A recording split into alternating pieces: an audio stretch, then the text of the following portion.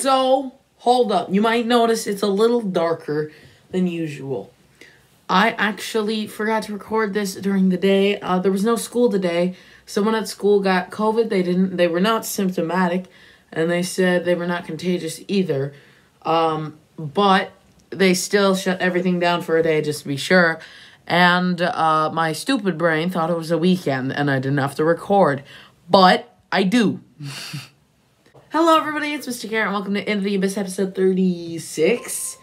Today we are discussing the moon landing. I do might have a Wikipedia page up.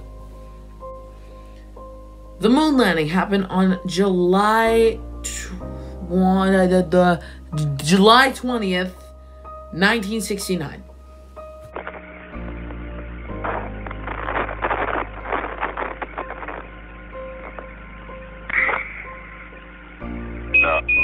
Neil Armstrong and some other dude whose name I can't remember uh, was on the moon.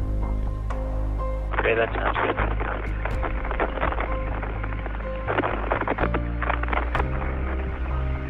You don't mind a little dirt here and there, do you, Jay?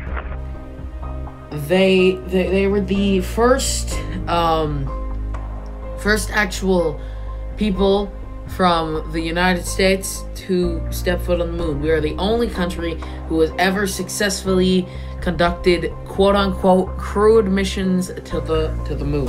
America was desperate to beat the Soviets to the moon and plant a flag there. But did the government want it so badly that they Here, uh, this thing is telling me that the Soviet Union were the first ones to try landing on the moon, but failed. Okay, you can't believe it.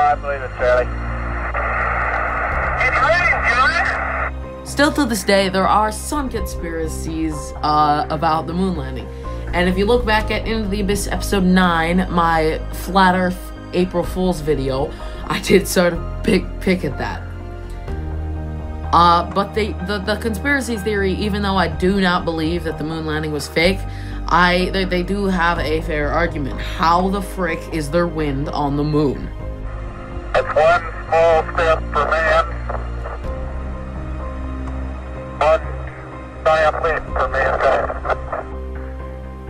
Now, I, I say it might be some scientific disturbance in the sky and the moon, but but that that's a good point. There's no wind on the moon. Uh, uh, impressed in the surface about uh, one or two inches. I'm gonna step off the limb now. Now, I'm really trying to get you as much information about this thing as I can, but you know, it's just two dudes walking on the moon on July 20th, 1969.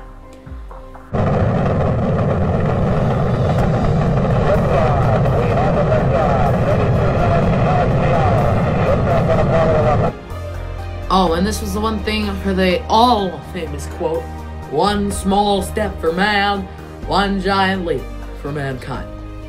Well, anyway, that was the end of the Abyss episode 36. I shall see you next week. I really want to eat my pizza now. It's dinner time. Peace.